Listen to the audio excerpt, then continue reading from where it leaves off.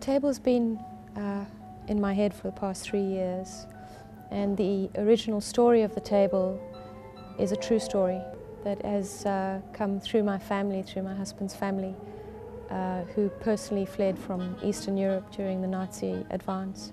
Um, and the story of a table being buried is a true story. So that was initially the inspiration. I've obviously woven it into a very South African context.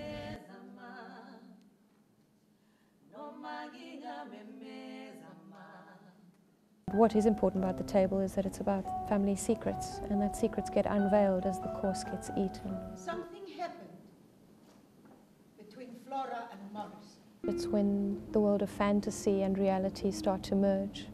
So in the case of some of the, the characters in the family, they, they dream things and they desire things which nobody sees or knows about, but we are witness to those dreams. And the way one does that is to heighten the style.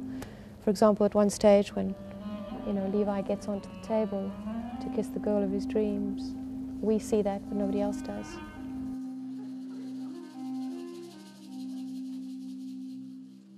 I think it's a wonderful blend of magical realism and uh, realistic uh, playwriting, which is what Craig Higginson has brought to this. He's made an amazing contribution in terms of structure and text. Hello, did you have a nice flight?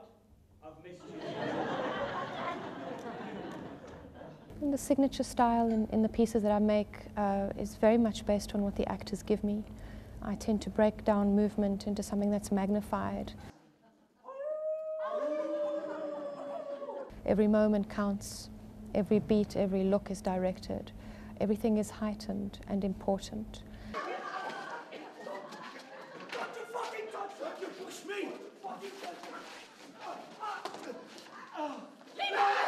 I work with a world of props. The props and the world of the actor become one syn synergy that is very important.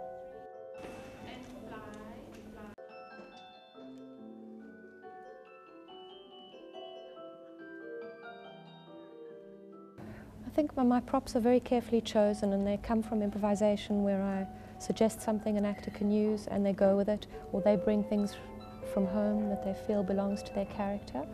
In the situation of the table, it's the normal table setting, so we work with a world of cutlery and crockery and food, which in this case is not real food, it's sand and pebbles, stuff you'd use on a construction site.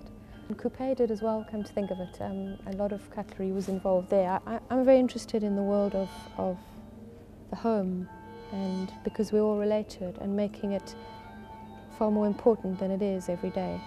Because I think that's where our tradition is and that's where we do things that we're not even aware of. We talk in different ways. The way we eat, the way we cut something at the table when we're having a fight with something will differ to how we are when we're in love with somebody. So um, heightening the sense of how one uses the prop has always fascinated me and I think in the case of cutlery and crockery um, it's, find, it's found its way into the plays. I like the sounds that they make and what they evoke in people.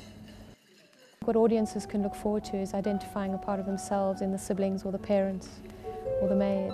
Um, there's something very special in every single character and their story arc within the play.